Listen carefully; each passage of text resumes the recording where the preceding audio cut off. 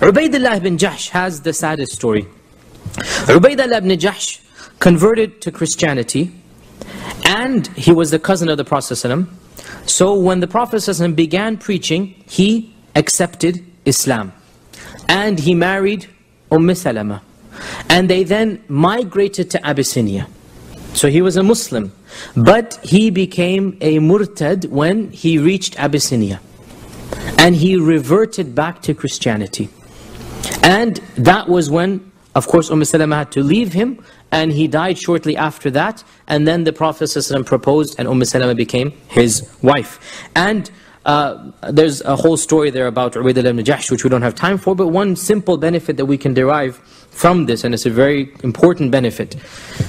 If you become murtad in a land that is not ruled by the Sharia, this is your freedom.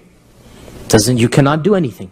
So the whole question, I'm saying this now because our religion is being attacked. You guys have a blasphemy law. If somebody leaves a religion, you have to cut his head off. That's what we're told. The response is very simple. No.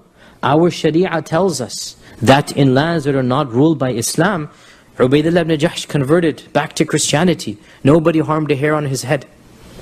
There's, this is the land of Negus, the land of Najashi. Do as you please. It's not uh, the land where the Sharia is going to be implemented. So in lands uh, other than the land of Islam, there's no question the Sharia would say that we don't implement uh, that. And of course, whether we uh, implement or not, even in Islamic lands, there's a whole long conditions for that.